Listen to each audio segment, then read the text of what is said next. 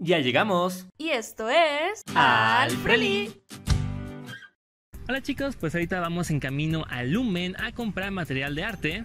Y de paso queremos aprovechar para contarles nuestra experiencia con el Pixelatl hasta el momento. Para los que no saben quién es el Pixelatl, es un festival de animación en donde quienes tienen un proyecto de serie animada o de películas suben ahí su proyecto para llegar a los productores y los canales que van a financiarlo. Y en febrero salió la convocatoria del Pixelatl y estuvimos trabajando mucho en la Biblia de Animat. Y la Biblia de animación es un documento que te sirve para poder vender tu serie animada a diferentes productores para que se convierta en una serie animada. Por esas fechas, Mako Animation que es un estudio de animación aquí en México y también es un canal de YouTube, no, se nos acercó para apoyarnos con la Biblia de Animat y fue gracias a ellos que pudimos tener contacto con Fraser McLean. Él es un ex animador de Disney que ha trabajado en proyectos muy grandes como Tarzan, Space Jam, Quién engañó a Roger Rabbit, así muchas películas bien chidas. Fraser es una increíble persona que ha estado ayudando bastante en la industria de la animación mexicana y de hecho es bastante accesible y ya lo consideraría el mentor de Animat para este punto. Y el principal consejo que nos dio Fraser fue que armáramos un equipo y eso fue lo que hicimos. Le hablé a mis amigos de la universidad que son excelentes artistas y escritores y si hay algo que me gustaría que se quedaran de todo este video es que si van a hacer una serie animada o van a hacer un proyecto artístico, recuerden que esta es una industria colaborativa, así que júntense con las mejores personas que conozcan a su alrededor para que su proyecto quede de lo mejor.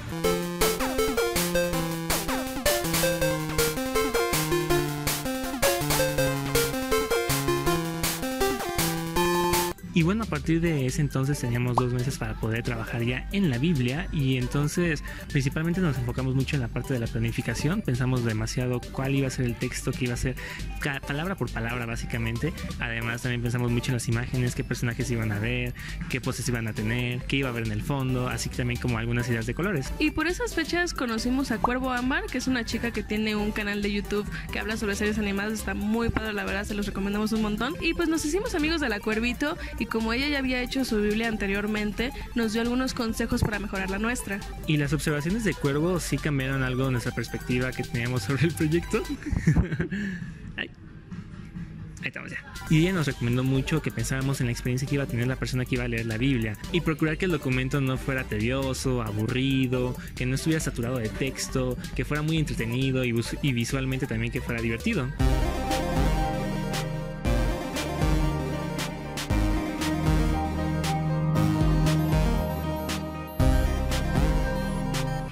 Gracias a Fraser fue que pudimos conocer a Edino Israel, que es el ganador del Pixelatos del año pasado y en general tiene mucha experiencia haciendo Biblias. Pudimos tener una llamada con él y nos dio un montón de retroalimentación.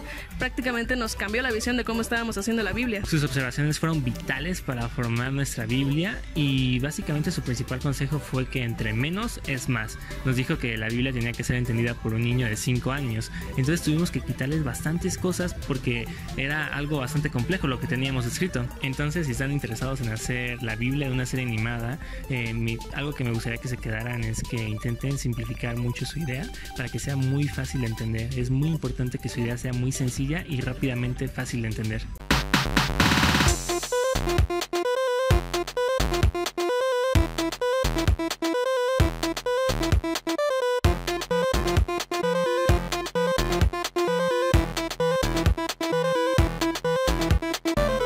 Bueno chicos, ya después de eso pasó mes y medio de pura planificación, de puro sketch y ya quedaban nada más dos semanas para poder entregar la Biblia y no teníamos nada, no teníamos nada de imágenes, cero, es como, ¿qué rayos? ¿En qué momento pasó tanto tiempo? Y entonces precisamente porque ya teníamos muy poco tiempo para acabarlo, fue que Alfredo pasó a dedicar el 100% de su tiempo a solamente trabajar en la Biblia. Ahí es donde empecé a hacer los videos yo sola, que de hecho se vieron, sobre todo de estar contra las fuerzas del mal, salgo yo solita precisamente porque Alfredo estaba trabajando en la Biblia.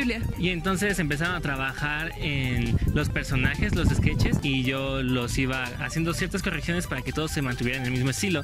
También me ayudaba mucho con los fondos y yo me puse a hacer todo el liner de la Biblia. Y bueno, mientras Alfredo estaba trabajando, yo dormía para que cuando él se fuera a dormir, yo despertara y me ponía a trabajar en la Biblia también. Yo hacía los colores base de casi todas las páginas de la Biblia.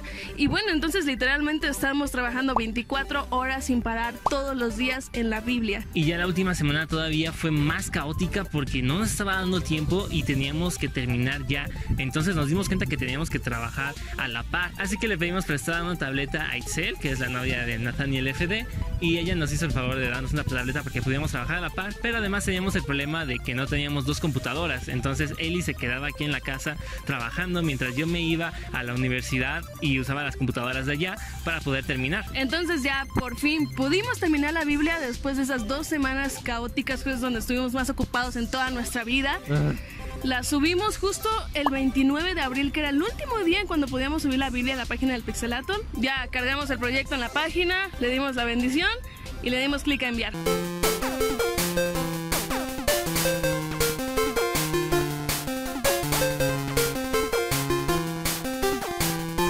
Y bueno, ya lo que restaba era nada más esperar. Y de hecho los ganadores los iban a anunciar el 5 de mayo, pero no dijeron pues a qué hora, o sea, si en la mañana, en la tarde, en la noche. Entonces estuvimos todo, todo el día al pendiente de la página de Pixelatl recargando una y otra vez. De hecho, incluso hasta yo puse alarmas cada media hora para andar al pendiente de la página y que no se me olvidara. Así de grave estuvo la situación. Entonces estuvimos así el 5 todo el día recargando la página hasta que en la tarde el Pixelatol por fin publica algo y dice que la mención de los ganadores se pospone al siguiente día, 6 de mayo, en la noche. Es como de todo el estrés de todo el día para nada.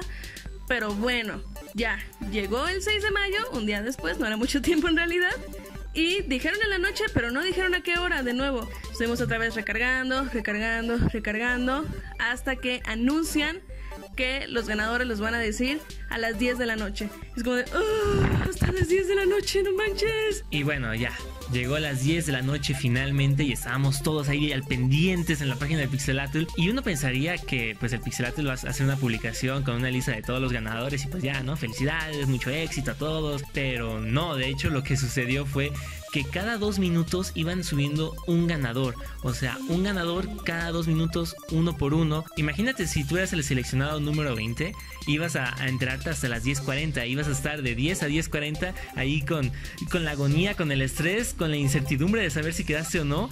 Todo el rato ahí checando la página del Pixelatul. O sea, y eso fue lo que pasó para nosotros. Entonces, durante todos esos 40 minutos, nosotros nos volvimos locos. Estábamos ya delirando. Alfredo estaba haciendo voces de un montón de personajes hizo Scooby-Doo y no sé quién más. Scooby-Doo. y la verdad estábamos muy, muy desesperados. De hecho, Barbie Rodoodle, que nos ayudó, estaba con nosotros en videollamada. Ella puede confirmar que estamos muy, muy locos. Y bueno, seguíamos ahí recargando la página. Ya estaban por el ganador número 19 y como solamente eran 20 lugares, pues obviamente ya estábamos muy desilusionados. Era como, pues nada más queda un solo lugar. Es muy poco probable que seamos nosotros, entonces como, pues ya, pues ya ni modo, ¿no? Nosotros no quedamos, estábamos totalmente desilusionados cuando el Pixelatol hace la siguiente publicación diciendo que este año, debido a que los proyectos fueron muy buenos, decidieron dar cuatro lugares más. 24 lugares iban a pasar en esta ocasión en el Pixelatol y es como de, no manches, cinco oportunidades más para poder quedar. Resurgimos, resurgimos. Y pues nada, una vez más, estando ahí al pendiente de la página de Pixelatol. Y bueno, que pasa el 20 y nada, y estamos como de, ok, está bien, va, va, va pasa el 21 y nada, es como... Oh. Conforme seleccionando uno y otro proyecto y no salíamos, estábamos todavía más y más con la moral más baja. Y el 22 es un número especial para nosotros porque fue el día que nos hicimos novios. Entonces nos quedamos pensando como, no, no puede ser que sea el 22, o sea... Si ese 22 va a ser mucha coincidencia, pero yo dije, pero tiene que ser el 22, o sea, ya, si va a ser en este momento tiene que ser el 22. O sea, no puede ser ni el 23 ni el 24, ya, en el 22. Y él estaba en negación, estaba como de, es que no manches, o sea, yo ya estaba totalmente desilusionada. Es como, no, no quedamos, acéptalo ya, quedan muy pocos lugares y mucho menos va a ser el 22, o sea, sería demasiada coincidencia. Es como, tenemos muchísima fortuna, ¿o no? Entonces, como, no, eso no pasa, la vida no es tan buena. Es como si nuestra vida estuviera siendo observada por alguien, alguien nos está observando, es una película, ¿quién, quién me ve? Pero, de hecho, sí, fue el 22, aparece el 22, anunciante 22 y dice Animad y es como, ¡ah! Nos lo vimos loquísimos y en ese momento, no, no, o sea, nos pusimos bien, pero bien locos.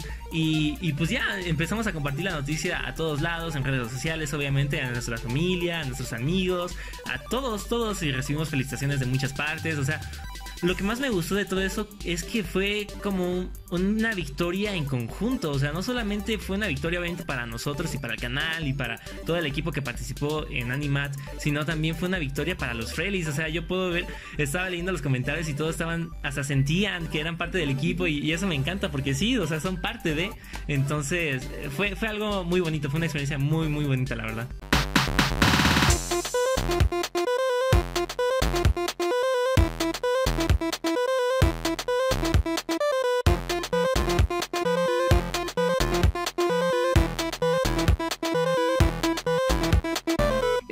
Pues esa fue nuestra experiencia con el Pixelatl hasta el momento porque todavía no ha terminado. Queremos agradecerles a ustedes sobre todo porque de verdad sin su apoyo que le han dado a Animad al cortito, todos los fanarts que le han hecho, que nos han compartido en las redes sociales y también su apoyo al canal que le han dado desde hace muchos años, no hubiéramos logrado esto, la verdad. Entonces este no es logro solamente de nosotros, también es de todos ustedes. Y bueno, a lo largo de todo este día y todo este video hemos estado comprando cosas para hacer este dibujo que les queremos hacer en honor a que Animat pasó seleccionado al Pixelatl. Muchas gracias chicos por creer en nosotros y pues recuerden, ustedes pueden cumplir lo que se propongan. Nos vemos en el siguiente video. Adiós. Adiós. Antes de irnos, queremos dar un gran saludo y agradecimiento a los Frelis que nos estuvieron apoyando este mes. Muchas gracias, Frelis.